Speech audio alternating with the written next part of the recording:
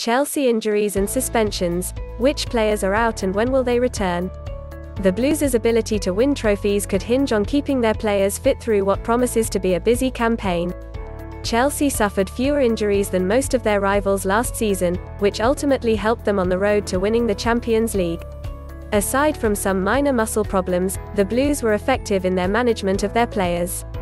Andreas Christensen pulled out of Denmark's European Championship semi-final match with England because of a hamstring injury. However, it is understood by Goal that the injury is not serious and is unlikely to affect his participation with his club ahead of the new season. Cesar Azpilicueta was due to be suspended for Chelsea's opening match against Crystal Palace after receiving a red card on the final match of last season. However, the ruling has been overturned on appeal. Charlie Musonda continues to progress his return from a career-threatening knee injury and has been invited to train with Thomas Tuchel's first team in pre-season. If you liked this video, hit the subscribe button to receive more like it in the future.